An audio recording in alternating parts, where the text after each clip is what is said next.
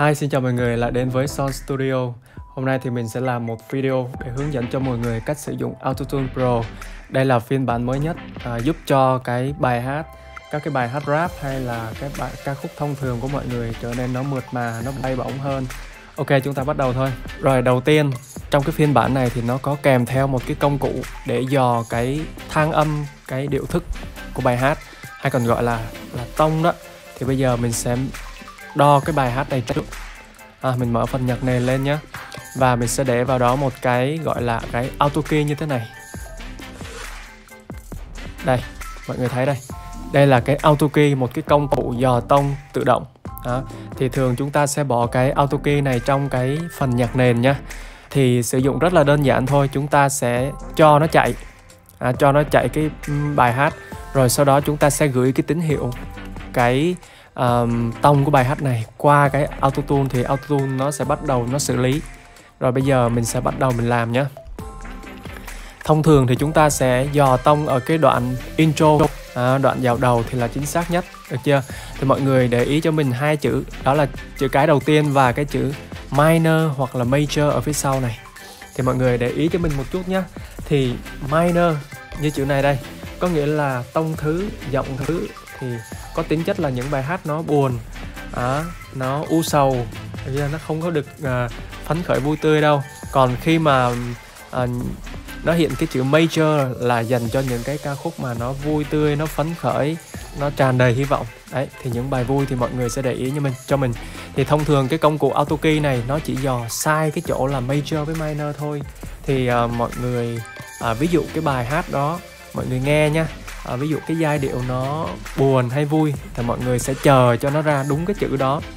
Ví dụ bài này luôn nhé ok ví dụ bài này cái đoạn intro của nó đây.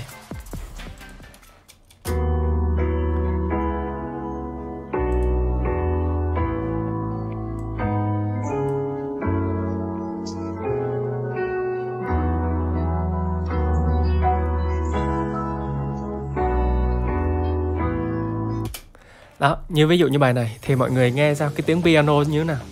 Nó rất là phấn khởi đúng không? Kiểu như là nó tràn đầy cái sự niềm tin đó, đó sự ờ, vui vẻ ở trong đó. Thì mọi người biết chắc là à nó sẽ ra cái chữ major này. Còn lại cái chữ cái này thì mọi người chờ cho đến khi nào mà nó à, nó không có nhảy nữa thì thông thường đó là cái tông chính của bài hát nhá. Thì bây giờ mình sẽ bắt đầu dò tông bài hát này. Đây mình sẽ bắt đầu từ đầu trước tiên mọi người cho nhạc chạy và bấm vào cái nút này nha cho nó listening này. Đó, cho nó nghe cái tông bài hát được chưa? Rồi sau đó sau khi xác định được cái tông rồi xác định được cái key rồi thì mọi người sẽ gửi cái tín hiệu này send autotune này. Tức là gửi cái tông này qua cái thằng autotune để nó xử lý. Ok thì bây giờ mình bắt đầu dò tông cái đoạn intro này. Bấm vào đây.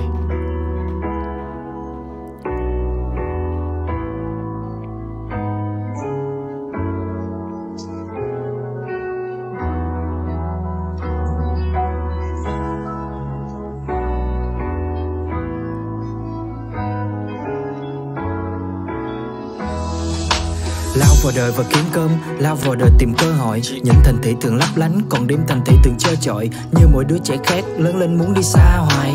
Nhà thì vẫn ở yên đó đợi những đứa con đang ra ngoài. Bước ra ngoài mới biết không ở đâu bằng ở nhà. Có gì để mất trước khi sẵn sàng mở qua không phải là võ sĩ, nhưng mà phải giỏi đấu đá. Nhiều khi kiệt sức chỉ vì gắn giữ mình không xấu xa.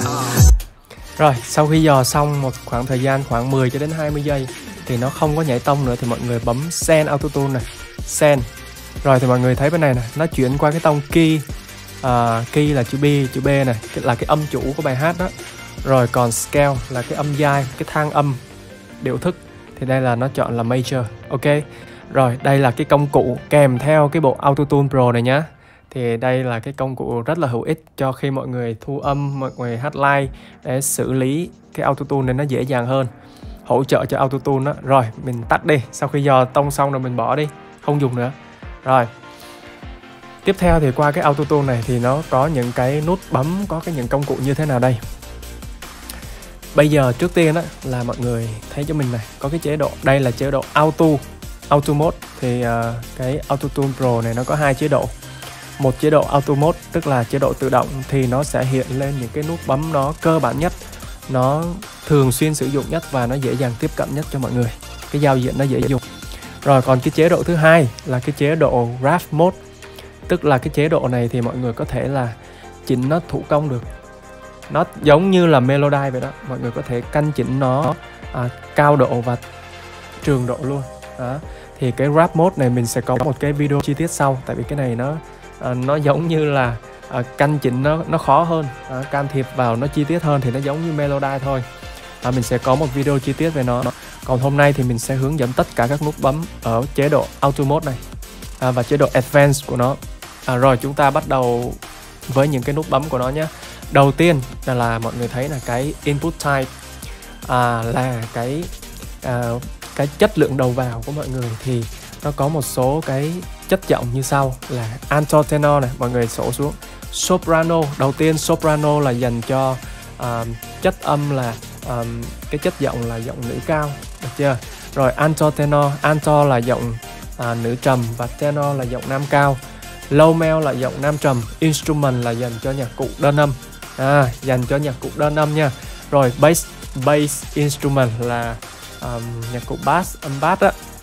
Thì cái autotune này nó hoạt động như thế nào đây? Thì nó sẽ tiếp nhận cái nguồn âm thanh của mọi người vào đúng không? Sau đó thì nó sẽ điều chỉnh cái cao độ điều chỉnh cái cao độ đầu vào đó. Theo cái cao độ mà mọi người uh, uh, set up đó tức là cái cái target cái cái cao độ mục tiêu của mọi người đó. Ví dụ cái cao độ là cái thang uh, cái thang âm mục tiêu của mọi người là là là uh, B major là cái cái key B major của mọi người. Thì nó sẽ kéo những cái nốt nhạc vào cái thang âm này vào những cái nốt nhạc gần nhất. Và một cái nữa là autotune này nó sẽ dùng cho những cái dạng âm thanh nó đơn âm thôi. Tức là sao? Tức là một voice, một giọng thôi.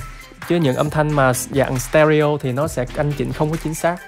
Nó sẽ đi lộn xộn lắm, nó không có ra cái chất âm nó tuyệt đối, nó tốt nhất có thể đâu. Nó chỉ dành cho những cái dạng âm thanh đơn âm thôi. Ví dụ một giọng hát thì được, mà hai giọng hát cùng một track thì không được nha thì nó sẽ canh nó không có chính xác. Mọi người nhớ cái yếu tố đó nha chỉ là đơn âm thôi.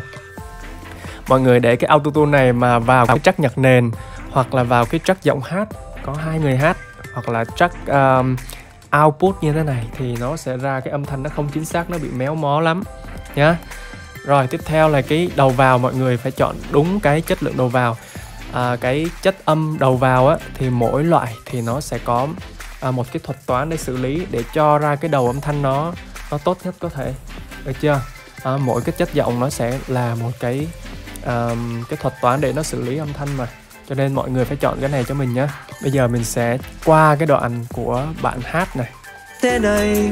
Chờ một niềm hào hứng xóa suốt những đêm ngày cùng dòng người trên phố. À, bạn uh, hát này thì là chất giọng tenor thì mình sẽ chọn tenor đầu vào này. Phố mang sắc mai hương đào tìm về nơi ấm êm. Đường về nhà là vào tim ta dấu nắng mưa gần xa. Rồi tiếp theo là mọi người thấy nè cái key và cái scale. Cái key là cái âm chủ nha cái chủ âm của nó. Và cái scale là một cái thang âm hay hay, hay một số trường hợp là cái điệu thức riêng của nó. Thì cái này mọi người dùng cái auto key để mọi người gửi qua là được rồi. Mọi người gửi cái tín hiệu qua là được rồi. Thì thông thường các cái ca khúc á, thì mọi người sẽ dùng cái dạng là major hoặc là minor à, điệu thức trưởng hay điệu thức thứ. Còn cái dạng khác nữa là chromatic thì mọi người có thể là dùng cho nhạc rap cũng được. À, nhạc rap uh, rap hip hop thì mọi người có thể dùng chromatic. Ok. Rồi tiếp theo cái nốt quan trọng đó là quan trọng nhất luôn. Ở trong autotune đó là cái retune speed. Retune speed là sao đây? Tức là cái tốc độ mà nó tiến hành tune à, cái cái chữ tune có nghĩa là đưa cái nốt về cái đúng cái giai điệu hoặc là đúng cái cao độ của cái nốt đó gọi là tune nhá. Thì cái ngôn ngữ tiếng Anh nó nhiều khi khó để có thể phiên dịch ra thành tiếng Việt được thì mình nói sơ cho mọi người hiểu như vậy. Ơi, retune speed là đưa cái cao độ đầu vào của mọi người âm thanh cách chất giọng của mọi mọi người này. À, trở về cái cái thang âm đúng à, cái thang âm mục tiêu của chúng ta đây. À, cái âm chủ của chúng ta và và cái âm dài đây. À, thì cái return speed này càng về không á thì cái tốc độ nó càng nhanh. À, hát lên cái là nó tuôn hát lên cái là nó tuôn nó tuôn nhanh như vậy thì mọi người sẽ có cảm giác là rất là à, rất là máy. À, cảm giác người ta gọi là T-Pain nghe rất là giống robot hát thì mọi người thử nha. Ví dụ mình sẽ cho tất cả các nút về về mặc định để cho mình mọi người dễ nghe. Bây giờ mình cho cái retune speed về mức là không nhá thì cái tốc độ rất là nhanh. Ở đây thì người ta đo cho mọi người là nó tính theo mili giây đó là không mili giây là vô cái là là nó nó tuôn liền luôn á. Thì mọi người sẽ cảm giác là nó rất là nhanh và sẽ gây ra cái hiện tượng là tipen à, như là robot hát thì mọi người nghe thử nhé đường về nhà là vào tim ta dấu nắng mưa gần xa. Thất bát vang danh nhà vẫn luôn chờ ta. Đó mọi người thấy nó như nào? Rất là uh, robot hát giống như robot hát. Cái này là mình đã melody rồi đó là nó đỡ rồi đó. Chứ bình thường là nó còn uh, còn còn nhiều cái t-pen cái hiện tượng này nữa. Thì thông thường chúng ta sẽ để cho nó tự nhiên á, thì mọi người sẽ để khoảng mức là từ 10 cho đến là à, 50 là trung bình đó. mọi người mà kéo xuống nhiều quá thì nó kiểu như nó chậm quá thì mọi người sẽ không phát hiện ra t-pen nhưng mà đồng nghĩa với việc là mọi người sẽ không nghe nó bay bổng nữa đó. không có sự can thiệp của autotune nữa nữa thì cái autotune này vào để giúp cho cái giọng hát mình nó bay bổng hơn nó đưa cái các cái nốt về đúng vị trí của nó mà đúng không nếu mà cho nó chậm quá thì cũng như không. Cho nên là theo cái manual của nhà sản xuất thì mọi người có thể để là từ 10 cho đến 50 là nghe nó ok nhất, nghe nó tự nhiên nhất nhá. Còn đây thì mình để khoảng 20 đi ha. Tại vì cái bài này, cái giọng hát này thì mình cũng đã Melody rồi á. Đường về nhà là vào tim ta dấu nắng mưa gần xa. Thất bát vang danh nhà vẫn luôn chờ ta. Vang danh nhà vẫn luôn chờ ta. Rồi mọi người nghe nó vẫn còn hơi méo cái chỗ này. Nhà vẫn luôn đúng không? Thì cái nút thứ hai sẽ là ảnh hưởng cho mọi người đây. Flex tone thì cái nút này à, càng về không á thì có nghĩa là cái độ rung à, biên độ rung nó sẽ càng nhiều. À, và khi mà nó càng nhiều như thế thì nó dễ làm cho cái nốt nó chuyển sang cái cái nốt kế bên đúng không thì nhiều khi nó sẽ bị méo mó. Và thông thường thì chúng ta sẽ kéo cái flex tone này lên cho nó uh, cái độ nó độ rung uh, cái biên độ rung nó tự nhiên hơn. Thì mình thông thường mình sẽ để khoảng từ 40 cho đến 60 thì mọi người nghe lại cái chỗ này nó sẽ không còn bị auto tune nhiều quá. Vang danh nhà vẫn luôn chờ ta. Danh nhà vẫn luôn chờ ta. Đường về nhà vang danh nhà vẫn luôn chờ ta. Đó, nó đỡ hơn. Nếu mà mọi người kéo về không thì nghe nó nó mọi người nó sẽ bị lộ ra hơn rất là nhiều. Vang danh nhà vẫn luôn chờ. Đó, thì cái nút flex tone này thì mọi người kéo lên khoảng 50 nhà vẫn luôn chờ ta. Rồi tiếp theo cái nút hai nút bên này là humanize. Humanize đây mọi người thấy này à, những cái nốt mà nó ngân dài á nó rung nó tự nhiên hơn.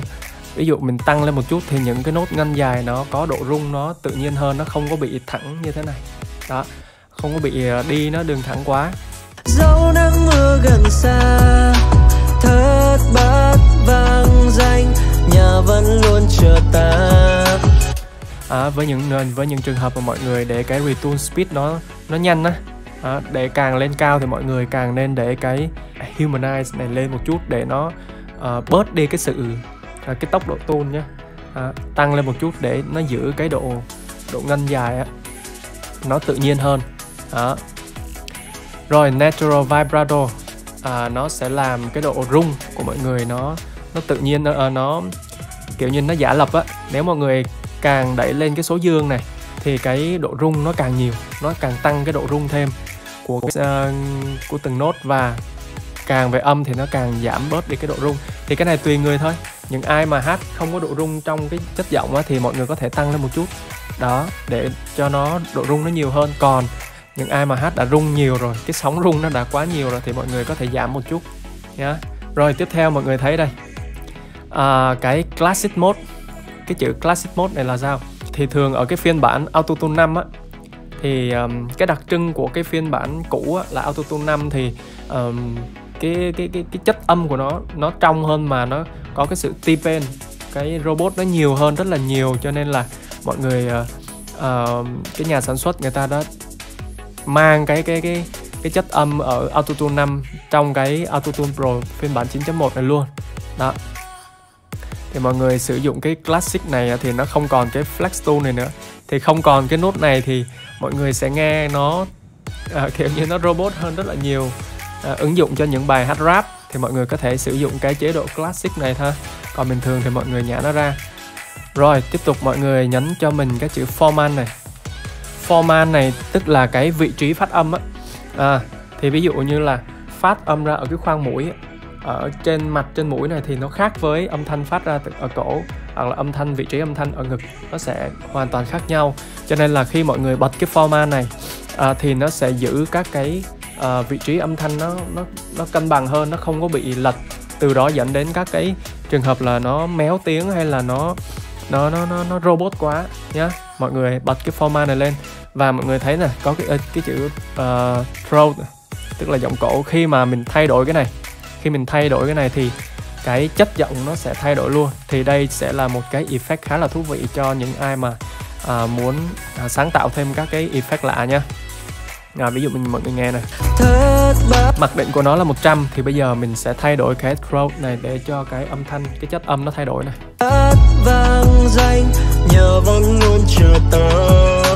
đường về nhờ vào tim ta dẫu có muôn trùng có vớt đói sao dài nhà vẫn luôn là nhà.